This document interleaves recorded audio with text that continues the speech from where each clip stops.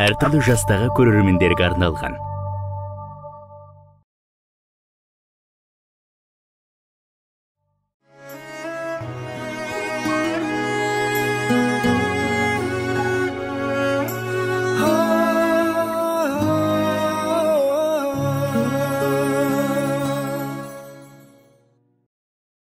Қыдырәлі болманов продюсер әнші.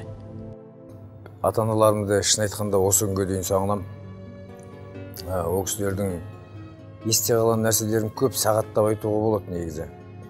Алған тәрбиемді адам өсе келе барып түсінеді ғой.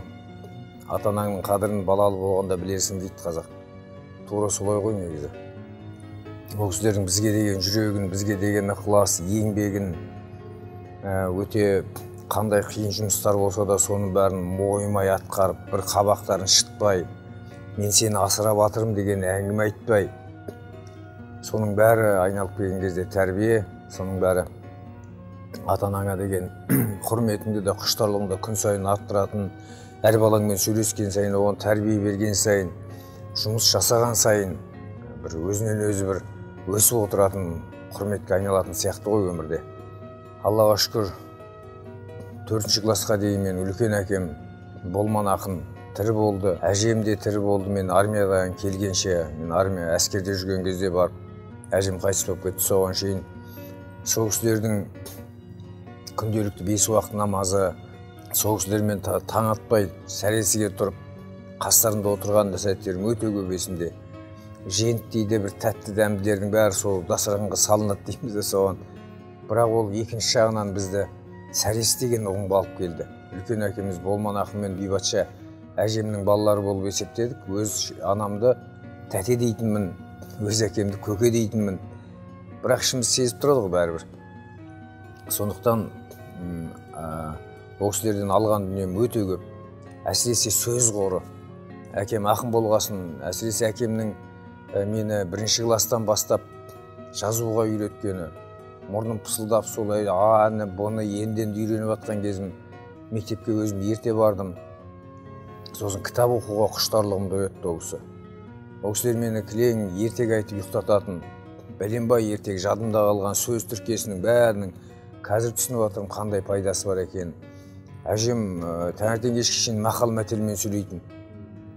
Соның бәрі деген қандай тәрбие қандай бір асыл қазына шын айтқан кезде анам әкем екеуі көбінесе малда жүретін. Яғни бізден 30 шақырым жерде өрнек деген жерде ол кісілер үлкен сауын фермасы болды сиыр фермасы. Сонда жұмыс істеді әкем басқарды. Анам ол кезде доярка дейміз ғой сауыншы болды былайша айтқанда. Содан таң атпай кетеді кешке келеді жазда қыста қыстауға шығады қыстауда мал бағамыз мен енді каникул кезінде сол жерге келемін міндетті түрде. Каникул біткен күннің кешінде мен сол кісілерге жететінмін. Сонда есімде анам бүкіл ауылдың сойған әсіресе сиырдың соғымдарының бәрінің тоқпан жіліктерін жинақ қоятын бір жиырма жиырма бес жіліктей жинақ қояды мен келеді деп мен үшін қарындасым екеуміз барамыз. Сонда асқаннан кейін тоқпан жіліктің ішіндегі ә, майы оның кемірігі соның бәрі біз үшін кәдімгі мороженый болатын бар ғой. Ауылдағы бір керемет дүние болатын. Соны күнде біреуін қайнатып күнде біреуін шағып соны әбден кеткенше соның жіліктің майымен асырады деген солай болар. Мен енді ұлдан кенжесі болдым өзімнен кейін қарындасым бар. Ә, жаратқанға шүкір төрт ағам болды алдымда ә, жалпы тәрбиелік құрал еңбек болатын бізде. Ағаларым бәрі әскерде үйдегі кенжесі де мен бас көтерер де мен әкемнің кітабын жазған өлең жолдарын жазатын да мен. Сол арқылы болар мен кітапқа өте құмартып өстім. Бірінші екінші класста мен кітап оқып өсе бастадым жалпы. Үшінші төртінші класста зуылдатып жазып кітапханаға ауылдың кітапханасына ек, жетісіне екі рет барып келетінмін. Үш төрт кітаптан алып келіп оны бір аптада оқып бітіріп оны қайтадан өткізіп тағы кітап алып. Ол кездегі мұғалімдер қандай шіркін? Осы жаныңды алып сабағыңды оқытып тапсырмасын беріп оны қадағалап оны үйде қадағалап сол анамның тағы бір керемет тәрбиесі. Біздің әкеміз ә, бізді қол көтеріп ұрмайтын соқпайтын. Бірақ анам ол кісінің образын жасағаны сондай. Әкең келе жатыр десе ат тұрып тұратынбыз ғой бүйтіп күтіп тұратынбыз. Ол кісі не айтады? Біз үшін ол заң болатын. Соның бәрі ана арқылы екен әкеге деген құрмет. Әкеге деген ізет әкені тыңдаудың бәрі айналып келгенде тек қана әкеңнің мейірімінен емес немесе қаталдығынан емес анаңның сені күнде соған дайындайтынынан екен. Әкең түзде жүреді анаң саған әкең туралы әңгіме айтады да әкең осындай кісі әкең былай міне әкең келе жатыр деген кезде біз деген бүйтіп смирно тұратынбыз ғой. Қандай тәлім тәрбие жалпы ол менің ғана отбасымда емес бүкіл қазақтың отбасы солай тәрбиеленген. Сондай бір дүниелер қазір үзіліп бара жатқан сияқты. Әке құндылығы ол тек қана ана арқылы. Аналарың ә, адамның анасы қалай әкеңді бейнелейді? Сен оның қасында таңертең кешке еріп жүрмейсің ғой сабаққа барасың өзіңнің өмірің. Және ер адам түз адам дейді ол кісілер әрқашан түзде жүреді. Соны көрмесең де саған күнде құлағыңа құйып көзіңе бейнесін салып әкеңді бір алып асқартау қылып керемет қылып көрсететін сол анамның марқұм жандары жәннатта болсын сол кісінің ақылы сол кісілердің тәрбиесі әжемнің шексіз ақылы мақал мәтелдері өзімнің болман әкемнің әрқашан жымиып жүретін екі беті қып қызыл ол кісі тоқсан жасқа дейін ғұмыр сүрді. Менің әкелерім негізі өте ұзақ жасаған адамдар. Әрі ақын әрі палуан болған адамдар. Әрі құс құс ұстаған адамдар. Әрине сол кісілердің тәрбиесі мен ақылы бізді осы күнге дейін сүйретіп келе жатқаны өйткені бала жалпы бала тәрбиесінде ең маңызды дүние. Ол кішкентай көзін ашқаннан бері еститін өзінің анасының тілі. Сол тілді әдемі көркемдеп жеткізе алатын әже соны негіздеп нықтай алатын ана тұтас институт оны бөліп жарып айтуға болмайды бүйтіп айтып едім сөйтіп айтып едім деп. Ә, тентектігіміз де көп болды. Бірақ мені ең бастысы ол кісілер осы тілменен екіншісі еңбекке қатты баулыды әсіресе жаңа ағаларым әскерге кеткен кезде айтып тұрмын ғой мен. Екінші үшінші класстың балаларымын өз жете, тетелес ағаларым біреу оқуға кетті екеуі әскерге кетті біреуі келе жатқанда біреуі кетті деген сияқты. Үйге аналарым мен әкем жаңағы түзде үйде әжем мен әкем бар. Ересегімен жаңа екінші класс па бірінші класстың баласымын әлі есімде. Сонда менің міндетім апам таңертең жұмысқа кетеді. Мен пешті таңертең жеті жарымда жағуым керек. Ол үшін күлін алуым керек. Дайындап қойған ағаш салам оны тұтатам үстіне қи салам қи бәрі жанған кезде қатырып қойған көмірді әкеліп салам деген сияқты машықтанады екенсің кәдімгідей ше. Соны істей бергеннен өйткені сегізге жетпей мен әжеме шай беруім керек. Бірінші міндетім таңертең. Әжемнің шайын бергеннен кейін ол кісінің жаңағы керемет сөздерін текті сөздерін естіп батасын алғаннан кейін әрі қарай жаңағы тыпырлаған тіршілік барып өзім қайтадан көмір қатыруым керек. Одан кейін барып анау жақтан барып су тасуым керек. Одан кейін малдың астын жайғауым керек. Одан кейін оған шөп салуым керек. бір бітпейтін керектер әлі мына бес алты бөлменің ішін бәрін жуып шығуым керек. Оның үстіне сабағымды оқуым керек. Өйткені апам сағат бірде жұмыстан келеді. Түскі асқа келеді.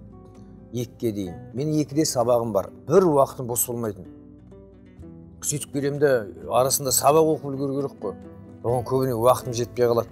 Өйткені сағат он бір жарым он екіге қарай көршінің балалары келіп тұрады жаңағы достарым ғой. Хоккей ойнауға барасың ба қыс болса жаз болса футбол немесе асық ойнауға. Баласың әрине барғың келіп тұрады. Сол кезде бәрін ұмытасың да кеттік деп кетіп қаласың. Ә, бірақ оған шейін біраз шаруаны атқарып тастайтынмын. Енді қалатыны тек қана үйлерді жуу сабағымды оқуды енді кері қалдырасың ғой. Өтірік айтып қайтеміз. Сөйтемін жаңағы балалармен ойнап жүріп бір кезде кәдімгі ұйқыдан шошып оянғандай боламын да. Сағат сағат неше болды деп қарасаң сағат он екі жарым немесе бірдің айналасы болып қалады кейде ше сол кездегі түрімді көрсеңіз аяқтан пимаға байланған коньки. О құстай ұшып жүгіремін әйтеуір. Үйдің айналасына жақын жағаның бәрі. Жүгіріп келемін де мынандай баспалдақпен көтерілемін бізде веранда деген болатын. Соған кіремін де өзі машықтанып қалған қимылдар ғой. Аяқты бүйтіп лақтырғанда анау киім айналып барып орнына дүк дүк анау дайындап қойған дайындап қойған леген бар емес пе? Соған жылы суды құйып жібересің да тряпканы ала салып машықтанып қалған қол ананың бәрін дың дың дың дың жуып коридорда бүйтіп енді ана соңғы тракпен сығып жатқан кезде апам кіріп келетін есімде. Жаңағы расчетты қарасаңызшы сонда сыртқы сағат емес ішкі сағат қалыптасып қалады да. Сен ананы сезіп тұрасың. Соңғы секундтарда бүйтіп енді бәрін бола берген кезде апам кіріп келеді де бүйтіп үйді қарайды. Иә бөлмелер жуынған пеш дүркіреп жанып тұр енді менен сұрайды. Сабағыңды оқыдың ба? Менде бір ақ сағат уақыт қалды сабаққа баруға. Көбінесе иә оқыдым деймін. Оқымадым десем бәлеге қалам оқымадым десем онда отыр сабағымды оқуым керек. Оны оқи алмасам мектепке жібермей қояды. Сосын екі таяқ жейсің да ол онша қызық емес та ол. Алып бар алып бара жатқан қажет емес та. Жаман тентек болатын. Мені алдыңғы партаға отырғызбай мұғалімдер сабақ өтпейтін жалпы. Соның арасында үлгеріп жаңағы ол да бір ә, аманашвили деген бір керемет ғалым бар. Сол кісі айтпақшы керемет айтты сол теңеуді бар ғой. Шалость дейді ә, это уловить совершенное дейді да?